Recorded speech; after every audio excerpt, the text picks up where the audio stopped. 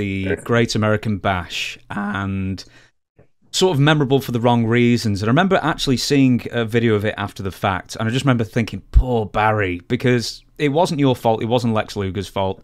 The fans wanted Flair, and they chanted, We want Flair all the way through. How would you, I mean, how did you deal with those chants, and what would you have done differently in that event? Well, I mean, I never let any of the chants or anything like that bother me anyway. I always you know, conducted my business and had a match and, you know, always stayed right to it. it. You know, unless there was a spot or something where you were trying to sell sell to what they were doing, you would you would do that. But I never really let it bother me in the ring, any of the chants or anything. Yeah.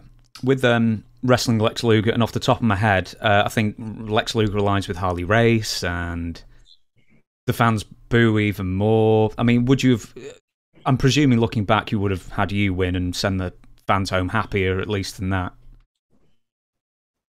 Well, that's what it was originally planned, but because Rick left and uh, you know we, we needed to put the, the, title on a heel, and they they needed to they needed to elevate somebody up to to Rick's status, and it was just a stepping stone for Luger. Hmm. And you know, I understood that. I, I understood business. I always did, and it was not a problem for me to do that.